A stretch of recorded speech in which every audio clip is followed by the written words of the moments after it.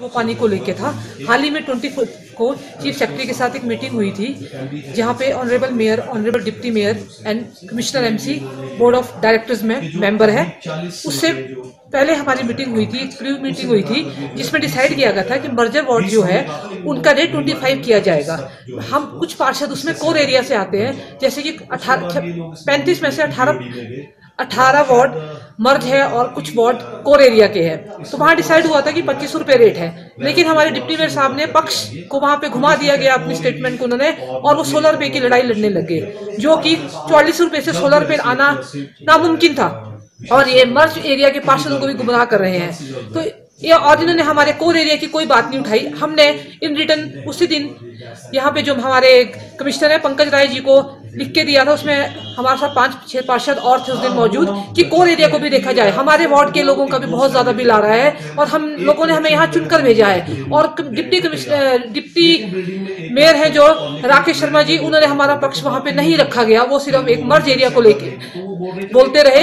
लेकिन मैं मर्ज एरिया से भी मुझे कोई एतराज़ नहीं है। मर्ज एरिया के लोग भी हमारे शहर के लोग हैं। लेकिन डिप्टी मेयर ने कोर एरिया को इग्नोर किया गया है, अठारह वार्डो को इग्नोर किया गया है। उस आधार पर मैं डिप्टी मेयर से सदन में भी और मीडिया के थ्रू भी इस्तीफा मांगती हूँ। वो इस पोस्ट के लायक नहीं है, वो मर्ज एरिया और कोर एरिया को डिफ्रेंशिएट करके पार्षदों को लड़ा रहे हैं और इस पे राजनीति कर रहे हैं। वही लोग हमारा इंतज़ार कर रहे हैं कि हम उनके लिए कब राहत लेके आएँगे और जो लाखों के बिल है वो कब सामान्य होंगे। क्योंकि पूर्व में भी देखा जाए तो कभी नॉमिनल बिल आते हैं। ऐसा भी क्या कि पिछले छह महीने या साल में ऐसा भी क्या पानी पिलाया जा रहा है कि बिल लाखों को, लाखों के आ रहे हैं? इसको आज चर्चा की गई। तो डिप्टी मेयर साहब, पे ही मैं ये ठीकरा फोड़ूँगी। शहर की जनता जो आज सताई जा रही है बिलों को लेकर, वो डिप्टी मेयर साहब की मेहरबानी है, क्योंकि जो मीटिंग में डिसाइड होता है, वो हमारा पक्ष, वो बोर्ड ऑफ़ डायरेक्टर की मीटिंग में नहीं रखते। ऐसा है कि बोर्ड ऑफ़ डायरेक्टर की मीटिंग में पानी के रेट्स के ऊपर मुद्दा उठा था।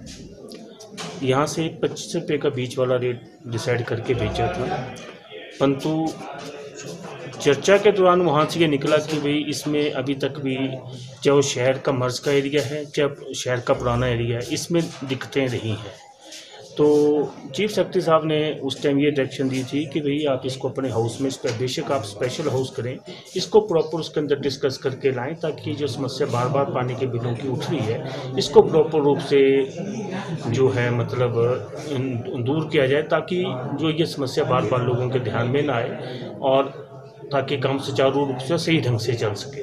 तो इस करके इसमें ऐसा कुछ नहीं था। इस पर जिस ढंग से चर्चा हुई है, उस ढंग से और बीच में एक कमी जो रही है, वो ये रही है कि 2006 में हाउस में एक डिसीज़न पास हो चुका है कि मर्ज एरिए के जितने भी कमर्शियल यूज़र थे, उनका मिल जो है डोमेस्टिक कर दिया जाए। परंतु उस टाइम लोगों को उसके बारे में जानकारी प्रॉपर नहीं दी गई।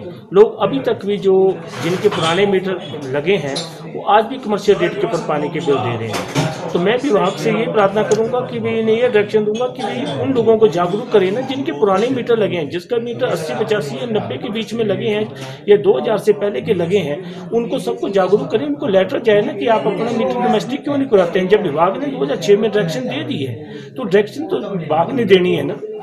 क्योंकि अगर 2006 से लेकर 13 साल तक अगर लोग कमर्शियल रेट के पैसे दे रहे हैं तो उनका फाइनेंशियल लॉस तो हुआ है ना।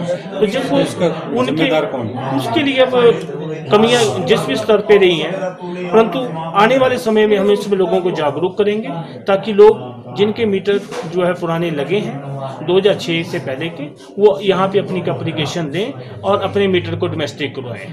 देखिए, अब इसमें मैं क्या कहूँ, अब पार्षद तो कहते हैं, बोलते हैं, उसमें मैं कुछ नहीं कह सकती, लेकिन दिक्कत वाकई है कि लोग परेशान हैं, क्योंकि अब हम लोग जो है, जनता के प्रतिनिधि हैं, जनता ने हमको चुन के भेजा है। तो जनता जब हमसे सवाल करती है कि जी हमारे बिल लाखों में आ रहे तो दिक्कत होती है, जो हमारे पार्षद परेशान है, हम लोग खुद भी परेशान है, मैं भी अपने वार्ड की पार्षद हूँ एज ए मेयर तो लेकिन मुझे भी वहाँ परेशानी है कई लोगों को बिल नहीं आए हैं, दिक्कत हो रही है, वो बिल्कुल जेनविन बात है। तो थोड़ा सा हो जाता है, कई बार गुस्सा आ जाता, हो जाती है ऐसी बात बाकी ऐसा कुछ नहीं है। डिप्टी मेयर साहब भी कभी नहीं चाहेंगे कि कोई इस तरह की बात हो, ऐसा कुछ नहीं है। लेकिन कई बार ऐसा होता है कि कई बार बात कई बार नहीं हो पाती है प्रॉपर तो उस वजह से जो है थोड़ा डिले हुआ है। उसके लिए मैं माफ़ी भी मांगना चाहूँगी जनता से कि इस बार किसी कारणवश जो डिले हुआ है, हम जल्द से जल्द यहाँ से अपना एक स्पेशल हाउस करेंगे पानी के लिए और सीवरेज के लिए, क्योंकि इसमें भी दिक्कत आ रही है सीवरेज जो असेस है, उसमें भी दिक्कत आ रही है। लोगों का ये कहना है कि अगर पाँच मीटर लगे हैं तो उसमें पाँच लोगों को थर्टी परसेंट जो है सीवरेज सेस भी देना पड़ रहा है, पानी का बिल भी देना। बहुत सारी दिक्कतें हैं इसमें। तो हम लोग इस पर स्पेशल हाउस करेंगे। उसमें जो है, जितने भी मुद्दे पानी से रिलेटेड है सीवरेज से रिलेटेड उन मुद्दों को जो अच्छे से उस पर चर्चा करेंगे। उसके बाद जो हम जो उसको बी में ले जाएँगे, उसके बाद जो भी फाइनल होगा, उसके बाद जो है उसमें सभी लोगों को वो जन वो हमारे मर्जर एरिया वाले लोग हैं, चाहे शहर के लोग हैं, सबको ही जो उसमें कुछ ना कुछ राहत ज़रूर दी जाएगी।